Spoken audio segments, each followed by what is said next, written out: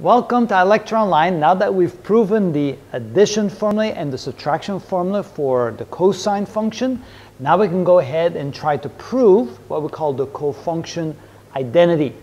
So here we have the cosine of pi over 2 minus x, and we know that that should be equal to the sine of x. So we're going to use what we've proven so far, that the cosine of the difference of two angles is equal to this. We apply it to this equation right here. And so we can say that this should then be the cosine of the first angle, pi over 2, times the cosine of x. And then since we have a minus there, it becomes plus, and let me put an equal sign there, plus the sine of the first angle, pi over 2, times the sine of the second angle, sine of x. All right. Now, what is the cosine of pi over 2? Well, pi over 2, that's 90 degrees. The cosine of 90 degrees is equal to 0. So this is equal to 0 times the cosine of x plus, and the sine of pi over 2, or 9 degrees, is equal to 1 times the sine of x.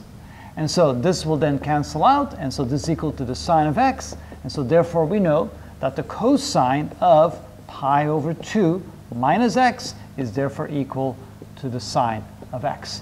And that's how we prove that. It's actually pretty simple once you know the formula for the difference and sum of the cosine function.